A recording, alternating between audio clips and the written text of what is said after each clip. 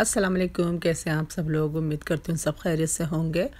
और ये है अफ्तारी का टाइम और मैं जल्दी जल्दी बना रही हूँ दही बड़े और साथ में समोसे भी बना रही हूँ। तो ये जो है अफ्तारी में बस थोड़ा सा टाइम रह गया है। तो ये मैंने समोसे भी बना रही हूँ। समोसे जो है बनाना मुझे बहुत मुश्किल लगता है, लेकिन बस मैं ट्राई कर लेती हूँ। जल्दी जल्दी बन ही गए। बस दो, मैं दो तीन रोल बनाऊँगी और तीन चार समोसे। और ये दही बड़े, ये कल तक मेरे दही बड़े चलेंगे जो आज मैंने काफ़ी ढेर सारे बना लिए हैं। और ये मैंने थोड़ा सा फ़िश फ़िश के फिले थे तो ये थोड़ा सा मैंने फ़िश भी इसमें फ्राई कर लिया। तो बस अब हम रोज़ा खोल के, रोज़ा खोलेंगे फ़िश और ये, और अंदर मेरा ओवन में मैंने चिकन ब्रेड बनाई है। तो वो अभी बन रही है तो जब बन जाएगी तो फिर मैं दिखाऊँगी। तो ये रोज़ा खुल गया है और रोज़ा खुलने के बाद मैंने टेबल समेट दी। ये रही मेरी चिकन ब्रेड जो मैंने बनाई थी। और ये रोल और समोसे। अब ये जो टेबल है, ये बस मैंने समेट दी, हमने रोज़ा खोला।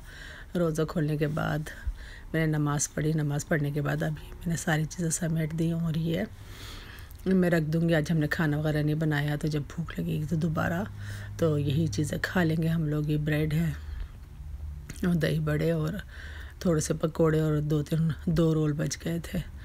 तो बस ये रख दिए मैंने ढक के और उसके बाद मैंने बनाई चाय, अदरक वाली। अदरक वाली चाय पी इसके साथ और उसके बाद अब मैं धोऊँगी बर्तन। बर्तन धोने के बाद फिर मैं बस नमाज़ पढ़ूँगी और कुरान पढ़ूँगी अपना। तो बस थोड़े से पहले भी मैंने तो बर्तन धो दिए थे, अब बस थोड़े से बर्तन बाकी हैं तो वो मैं धोऊँगी। और चाय वगैरह हमने पी ली है। तो आज हमारा है अट्ठाईसवा रोज़ा। नहीं, आज हमारा सत्ताईसवा रोज़ा था।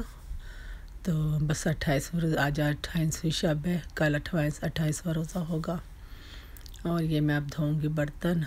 तो बर्तन धोने के साथ साथ बस मैं जो है स्कार भी अपने करती रहती हूँ।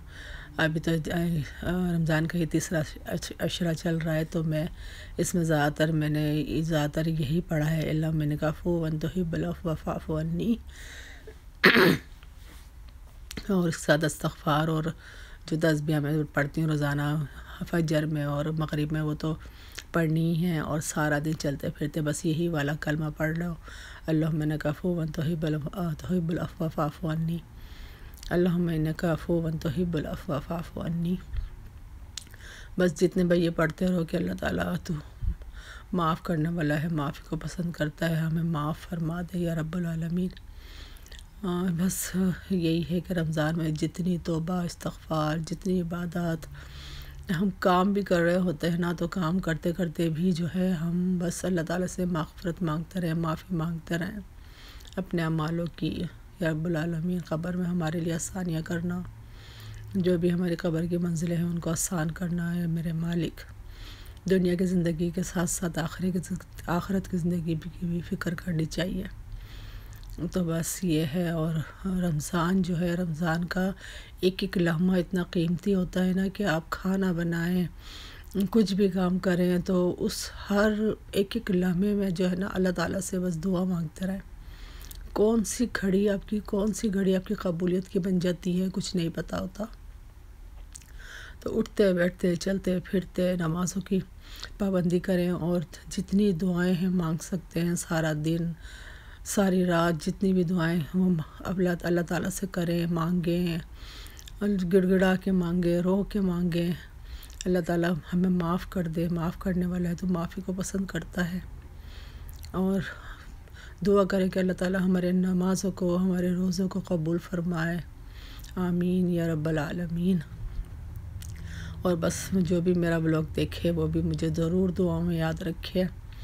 और दुआओं में याद रखे और जिस तरह की इबादत हम लोग को करनी चाहिए, वो हमें इबादत की है। अल्लाह ताला हमें तोफ़ी अता फ़रमाए। और जी बस ये भी धुल गए मेरे बर्तन और अब मैं जाऊँगी और ईशा की नमाज़ पढ़ने। ओके जला हाफिज़ दुआ में याद रखिएगा।